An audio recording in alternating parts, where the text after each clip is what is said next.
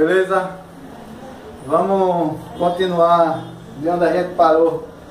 Aquele vídeo do como fazer o reboco passo a passo que a gente teve aquele incidente que a, a lâmpada caiu em cima de mim. Aí eu tive que parar o vídeo por causa da claridade, estava pouca. Mas aqui eu fiz aqui mais ou menos como a gente tinha parado lá na outra. E aí eu vou fazer essa continuação agora do, de como encher a parede essa daqui já está praticamente pronta, é só para desencolar. Mas aí eu vou estar tá mostrando aqui, tirando algumas curiosidades aí, assim que é importante. Se você fizer do jeito que eu estou mostrando, vai facilitar a sua vida na hora que você estiver fazendo o reboco. Tá bom? Mas antes, eu queria falar também a respeito disso aqui, ó, da esquina.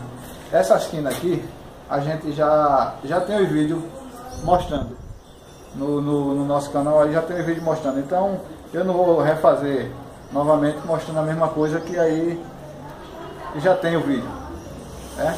Eu tinha falado que eu ia mostrar a obra passo a passo e tudo mais, mas como já tem esse vídeo aqui mostrando como é que faz essa, essa esquina, tem um vídeo mostrando como é que faz essa esquina, essa de cima, essa daqui do lado, tá tudo no canal. Aí quem quiser ver como é que faz essa esquina aí, tá no canal, aí você pode assistir e aí ver como é que faz. Beleza? Vamos pra cá. Aqui, como eu tinha falado antes, quando a gente começou a obra, quem está acompanhando essa obra desde o início, lembra que eu bati os níveis aí e mostrei como era que fazia para bater esses níveis, para quando você tirasse a parede, ficar com a diferença de você fazer o piso e tudo mais. Aí aqui ó, a gente já tirou a parede ali, já tirou a parede aqui e pode ver que aqui ficou uma distância, ó. aqui ficou uma distância de 4 centímetros.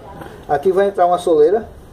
Aqui vai entrar uma soleira, já que esse piso que a gente vai colocar do lado de cá é diferente desse.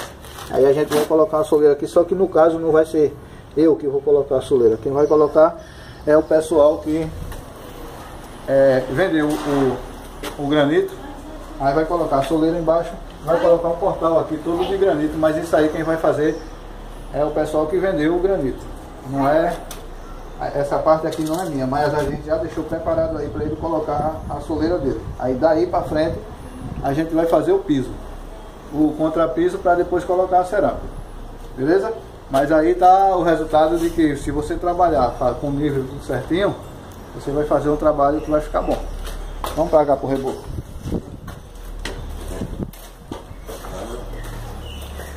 O reboco é o seguinte. O reboco para você encher a parede, você vai fazer isso aqui.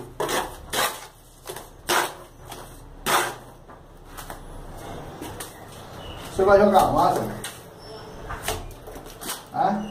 aqui. Só que quando você estiver jogando a massa, você não pode fazer isso aqui não.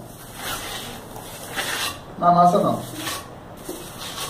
Por que você não pode fazer isso na massa? Porque momento que você joga ela na parede e passa a colher, você está fechando todos esses, esses furinhos aqui, ó, que vai facilitar na hora de da secagem da massa. Se você faz assim, ó, a massa vai demorar mais para puxar na parede e aí você, seu serviço vai ficar muito prolongado. Então, no caso, quando você fizer isso aqui, bater a massa na parede todinha, encheu, ao invés de você passar a colher assim, você passa assim, ó. Nessa posição aqui. Porque você passando aqui, você está deixando esses poros aqui tudo aberto para a ventilação entrar e a massa puxar mais rápido. Essa aí é, um, é uma dica. Agora tem a outra. Se você faz isso aqui também na massa, quando você está enchendo, se você começa a passar a colher demais, ela vai soltar da parede. Certo? Ela vai soltar da parede. Vai chegar uma hora que ela vai ficar saindo da parede, porque você passou tanta colher em cima que a água, que era para ser na hora que você bateu a massa, a água entrar na, na, no chapisco e no tijolo, ela vai começar a sair aqui. Ó. Pode ver que aqui está brilhando. Ó. A massa, ela, a água, ela está saindo aqui. Tá vendo? Então, se você fica passando a colher, a água vai sair e a massa vai soltar. Essa é outra dica. Tem mais um ainda. Depois de você, tudo pronto. Você fez o, o, o reboco todinho, antes de sarrafiar. Se você faz o reboco todinho e deixa assim, quando você vai passar a régua, ela fica correndo aqui em cima. Por quê? Porque ela está lisa. A parede que você ficou passando a colher ficou lisa. Então, quando você for sarrafiar, você vai trabalhar dobrado. Então, quando você estiver enchendo a parede para fazer o reboco, não faça isso aqui, ó. Porque tem três coisas que vai atrapalhar a sua vida aqui. A primeira é de fechar os poros e a massa demorar a puxar. A segunda, como eu falei, é que essa massa aqui ela pode soltar da parede de tanto você passar a colher em cima. E a terceira é quando você vai passar a régua, a régua fica passando aqui em cima. Já que a parede está lisa, você vai ter que forçar muito mais, fazer muito mais força para poder estar tá sarrafiando essa parede. Certo? Então, nesse caso, não faça isso aqui. Deixe sempre assim, ó. Bateu a massa, deixa ela crespa. Porque quando você passar a régua aqui em cima, a régua vai puxar com mais facilidade. Que não é o caso da gente aqui, que a gente já encheu. Agora eu vou estar mostrando a você. A gente vai tirar essa massa aqui.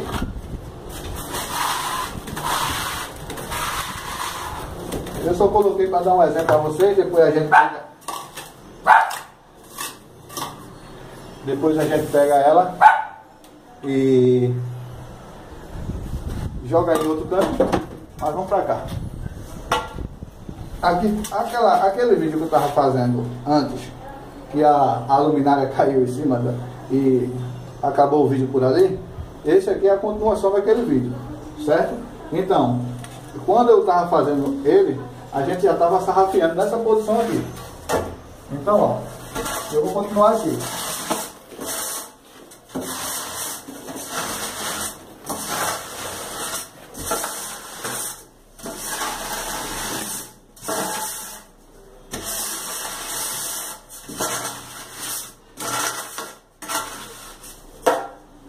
Queria, queria dar outra dica aí para vocês.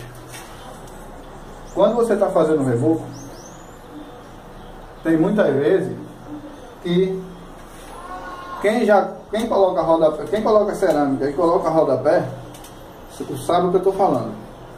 No caso, tem pé de parede aí que fica parecendo a as curvas da história de Santos, né? Que eu não sei nem onde é, que eu nunca fui lá, mas eu já ouvi alguém falar que é tudo cheio de curva. Então o seu pé, o pé da sua parede, vai ficar igual. Por quê? Porque você vai descer a régua aqui, ó, até embaixo. Você desceu. E aqui você tenta aprumar esse pé aqui, desse jeito aqui.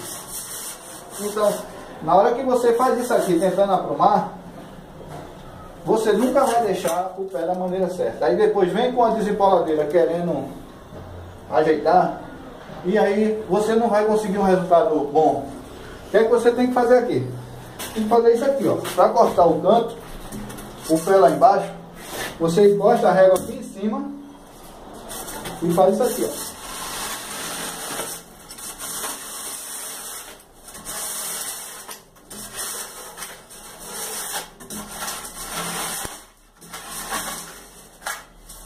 Porque aí o canto da parede, o pé da parede, ele está ficando igual a essa parte aqui de cima, porque a régua está correndo aqui, ó, nessa posição aqui. No caso, na, na vertical, certo? Você coloca a régua na vertical e corta o pé dela lá embaixo, da massa. Aqui depois, você pode fazer.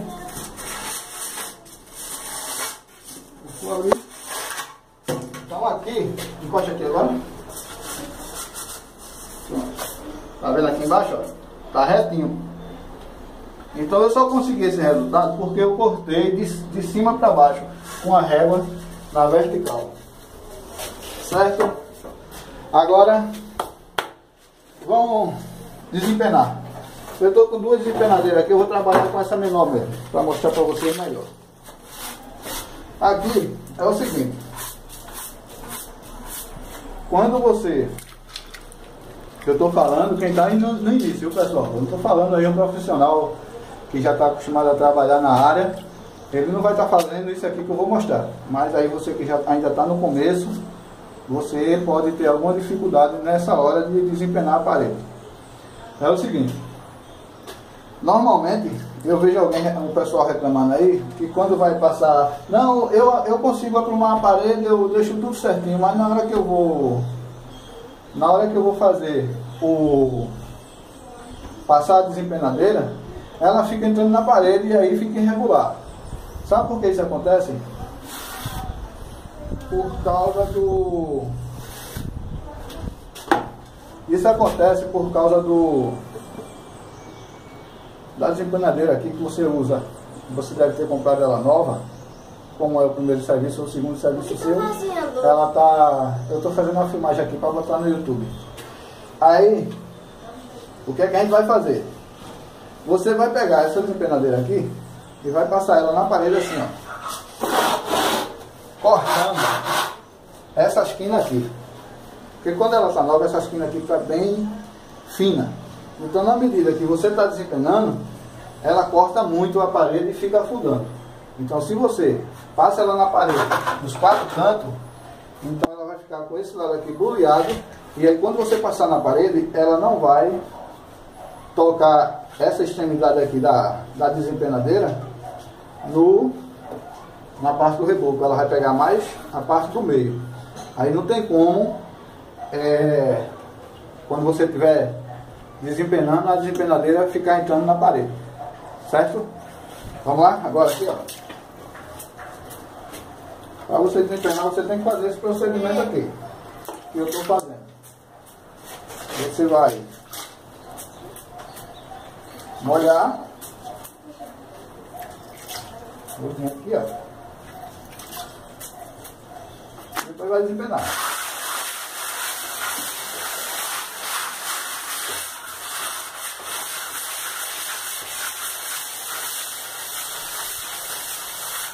Esse furinho que está ficando assim, ó, você não precisa se preocupar muito com ele não. Porque aí, depois eu vou mostrar pra você como é que você faz.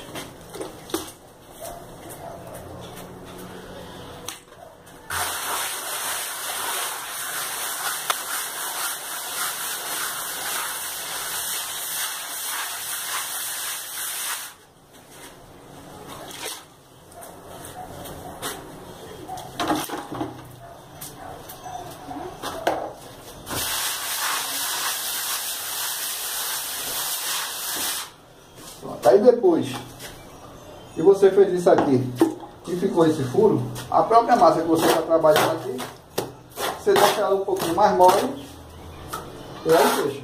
Aqui, ó.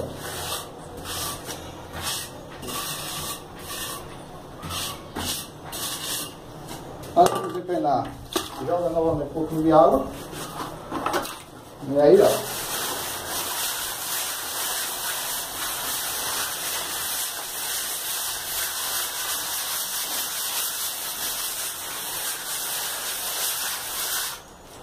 Tá vendo aí? Aonde tinha aquele buraco, não vai aparecer mais.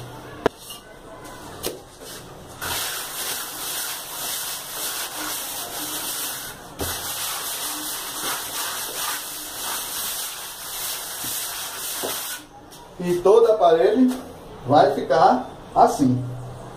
E depois de secar, ela vai ficar assim, ó.